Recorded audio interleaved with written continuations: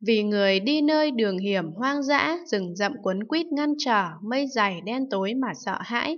thì ta thị hiện cho họ con đường tránh, khiến cho họ được thoát khỏi. Ta bèn nghĩ như vậy, Nguyện tất cả chúng sinh đốn rừng rậm tà kiến, chặt đứt lưới tham ái ra khỏi đồng hoang sinh tử, diệt phiền não đen tối, đi vào con đường tránh bằng phẳng nhất thiết trí, đến nơi rốt giáo an lạc không sợ hãi. Thiện nam tử, nếu có chúng sinh ưa chấp cõi nước mà sầu khổ, thì ta dùng phương tiện khiến cho họ sinh nhàm lìa, bèn nghĩ như vậy, nguyện cho tất cả chúng sinh Đừng chấp trước các uẩn, trụ cảnh giới nhất thiết trí của tất cả chư Phật. thiện nam tử, nếu có chúng sinh ưa chấp tụ lạc, tham ái nhà cửa,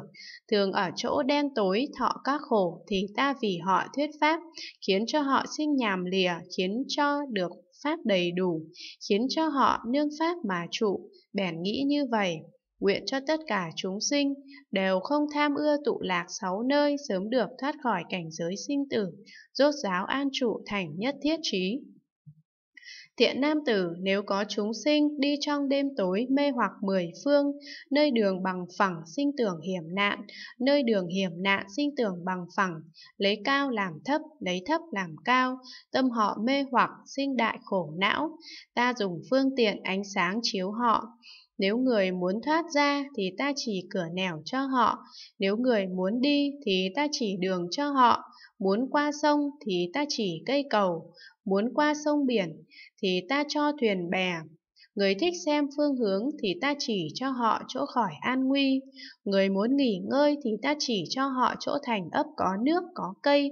Bèn nghĩ như vậy, như ta chiếu trừ đêm tối nơi đây, khiến cho các việc thế gian đều được tuyên dương rõ ràng. Ta nguyện dùng ánh sáng trí huệ, đều chiếu soi khắp tất cả chúng sinh ở trong đêm dài đen tối vô minh. Các chúng sinh đó không có mắt trí huệ, bị tâm tưởng thấy điên đảo che phủ, tưởng vô thường cho là thường, không vui cho là vui, vô ngã cho là ngã, bất tịnh cho là tịnh, kiên cố chấp trước pháp ta người chúng sinh uẩn giới xứ mê hoặc nhân quả chẳng biết thiện ác giết hại chúng sinh cho đến tà kiến bất hiếu với cha mẹ chẳng kính bậc sa môn và bà la môn chẳng biết người ác, chẳng biết người thiện, tham trước việc ác, an trụ pháp tà, hủy báng như lai, phá hoại bánh xe tránh pháp, sỉ nhục thương hại các Bồ Tát, khinh đạo đại thừa, dứt tâm Bồ Đề.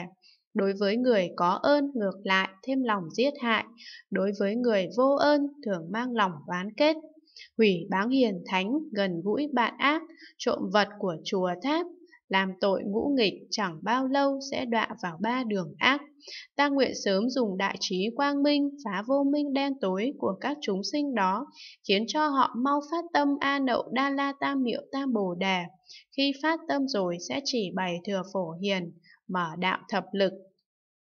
Cũng chỉ bày cho họ cảnh giới như Lai Pháp Vương, cũng chỉ bày thành nhất thiết trí của chư Phật, hạnh tu của chư Phật, tự tại của chư Phật, thành tựu của chư Phật, tổng trì của chư Phật, cùng đồng một thân của tất cả chư Phật,